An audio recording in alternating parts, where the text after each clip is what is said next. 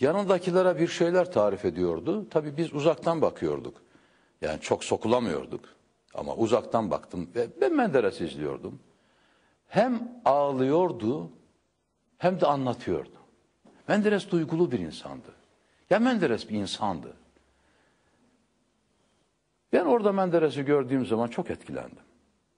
İkincisi her sabah çok erken saatlerde kalkıp Gazi Lisesi'ne yaya gitmek zorundaydım.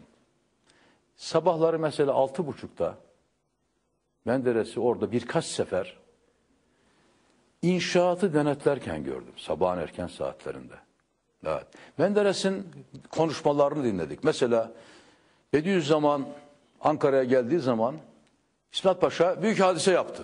Onu ona sıkıntı vermişti ya. Yani niye geliyor falan diye. Ya demokrasi anlayışına bakın yani. Bunları niye anlatıyorum? Bizim hayata bakışımızı şekillendiren bunlar. Çocukluğumuzda yaşadıklarımız ve okuduklarımız elbette. Yani onlar hiç çıkmıyor içimizden. Nerede bulunursak bulunalım. O zaman bir konuşma yaptı ve o konuşmadaki böyle tane tane ağzından sözler yağ gibi akarak nefis bir Türkçe konuşarak hiç böyle uydurukça filan sözlerde yoktu onun Türkçesinde. Çok güzel bir Türkçe konuşarak yaptığı konuşmayı bugün bile hatırlıyorum ve ihtilal sabahı babamın saat dörtte o işte güvendiğiniz silahlı kuvvetlerin sesi size bir dakika sonra hitap edecektir. Te- Radyolarınızın başından ayrılmayın. 27 Mayıs. Türk Silahlı Kuvvetleri evet idareye el koymuştur ifadesini Rahmetli Türkeş'in hitabı var Yani kim olduğunu bilmiyorum o ses. Ama orada ben babamın ağladığını gördüm. Çok etkilendim. Ben babamın ağladığını hiç görmemiştim. Yani hem kulağı radyodaydı hem de ağlıyordu.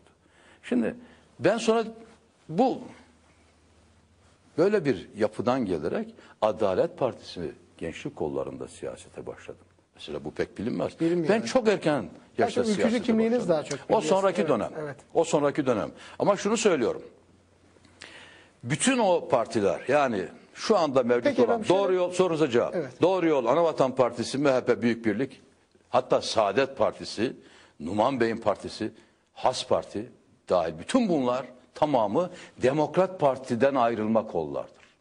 Demokrat Parti ile Cumhuriyet Halk Partisi arasında çok keskin bir ayrışma noktası vardır.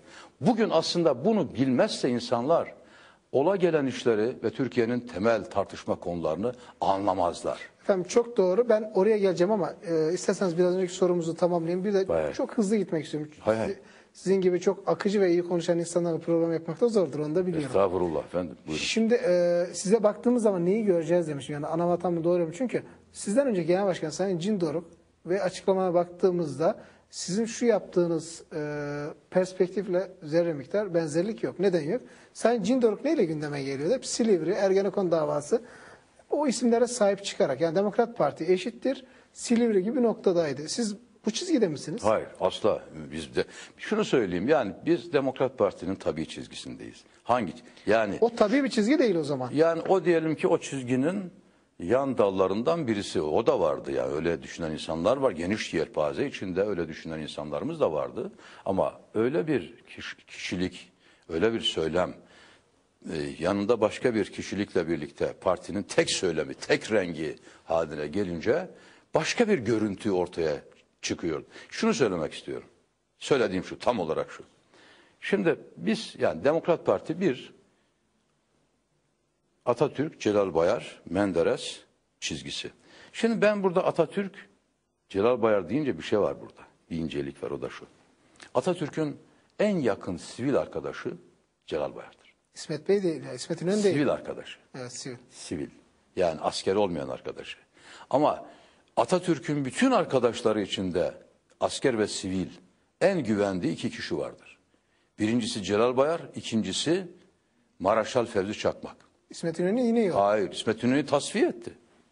İsmet İnönü'yü biliyorsunuz başbakanlıktan aldı. Son başbakanı ve çekişmeli bir şekilde aldı. Ama neden aldı? İşte burada burada Cumhuriyet Halk Partisi ile Demokrat Partisi'nin ayrış Demokrat Parti'nin ayrıştığı noktayı görüyoruz. O da ne? Bunlar konuşulmuyor. Bunlar ben gündeme getiriyorum. Hasan Rıza Soyak adında bir zat var. Evet. Atatürk'ün Özel kalem. Özel kalem müdürü ve genel sekreteri ölümüne kadar iki cilt halinde yayınlandı. Yapı Kredi Bankası yayınlarından çıktı. Kara kaplı iki kitaptır. Ona o kitapları açıp bakmak gerekir. Bizim şu andaki siyasetimizin farklılaşmaların ipuçlarını orada bulabilirsiniz. Nedir o? Recep Peker CHP Genel Sekreteri o dönem 30'lu yıllar. Almanya'ya gidiyor, faşizmi, nazizmi inceliyor. Daha doğrusu Almanya'da nazizmi, İtalya'da faşizmi inceliyor. O zamanın yükselen değeri bu totaliter diktatörlükler. Almanya'da nazizm, yani ırkçılık temeline dayalı nazizm, İtalya'da devleti kutsallaştırmaya ve tek kutsal yapmaya dayalı faşizm, ikisi arasındaki farkı da bu arada söyledik. Evet, ama ikisi de toptancı diktatörlük, totaliter diktatorya deniliyor bunlara. Bir de yine sınıfı kutsallaştırmaya dayalı komünizm. Böyle bir dünya. Evet. Dolayısıyla bu dünyada bir takım aydınlar da kendi zihniyet dünyaları itibariyle buna kendilerini kaptırmışlar. Biri de Recep Peker. Gidiyor inceliyor. Ve bir proje hazırlıyor. Türkiye'de de böyle bir sistem kurulsun diye. Evet. Bu projeyi bir yazı halinde ve Sayın Başbakan merhum İsmet Paşa'nın İsmet İnönü'nün imzasıyla Atatürk'e takdim ediyorlar Cumhurbaşkanı'na. Cumhurbaşkanı bunu sabaha kadar okuyor. Aynen Hasan Rıza Sayak'ın hatıraları birinci cilttedir. Sabahleyin genel sekreterini çağırıyor. Diyor ki kim bu zorbalar? Zorbalar. Şaşırıyor Hasan Rıza Soyak çünkü Atatürk sinirli. Tekrar ediyor. Kim bu zorbalar diyorum diyor. Ve şunu söylüyor. Şu sözler çok önemli. Diyor ki görüyorum ki en yakın arkadaşlarımız bile bizi anlamamışlar. Kimi kastediyor? İsmet Paşa. Ve Recep Peker'i. O da yakınlarda dolaşıyor. Yani şu mu efendim çok kısa. Ama çok bak söyleyeyim bak ne diyecek şimdi. Evet. Programınız içinde ilginç sözler söyleyeceğim. Diyor ki biz Türkiye'de ülkemizde öyle bir demokrasi istiyoruz ki dünyadaki gelişmeler karşısında artık yandaşının kalmayacağını bildiğimiz hanedanlığın gelmesini isteyenler bile siyasi parti kurabilsinler. Bu Atatürk. Atatürk'ün sözü bu. Yani şöyle mi efendim Ve ama şu bakınız bitireyim. Siz de bitirmem gerektiğini anlayacaksınız. reklama girmemiz gerekiyor. Ondan önce ben bir şey sorayım. Hayır, olur. Hayır, reklamdan sonra devam edelim tabii. Ama Reklamdan bunu- sonra devam. Çok bunu önemli. Yani herhalde şu noktaya geliyor musunuz? Bazı bu yönde tezler de var. Aslında Türk sağ Demokrat Parti çizgisi Atatürk çizgisi, Evet.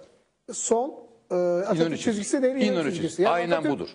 Yani sol Atatürkçü değil mi sağa kadar? Hayır değildir. İnönücü Atatürkçüdür. Yani İnönücülüğün adına, İnönücülüğün adına, Recep Peker projesinin adına Kemalizm denilmiştir. Evet. Kemalizm de Atatürkçülük değildir. Kemalizm denilen bu ideolojinin Atatürk'le bir ilgisi yoktur. Evet. Atatürk'ten sonra üretilmiş ve Atatürk'ün yaptığı işleri kas katı hale getirerek onların ebedi bekçiliğine soyunmuş bir ideolojidir. Atatürk bunu istemedi. Atatürk diyor ki ben nas ve dogma bırakmıyorum diyor. Tabii ki nas bırakmak ancak Ama ilahi CHP'de. Atatürk'ün partisi mesela bir şey olduğu zaman öyle Onlar, onlar ya. böyle diyorlar Evet. ama ben onların dediğini kabul etmiyorum. Atatürk'ün son tercihi Celal Bayar'dır. Çizgi o çizgidir ve Cumhuriyet'in değerlerine bağlı kalmak şartıyla alabildiğine, olabildiğine, olabildiğince demokrasidir. Doğrusu budur. Kısa bir reklam. Yol budur, çizgi budur. Pardon efendim reklama girelim. Tabii efendim. Devam edeceğiz.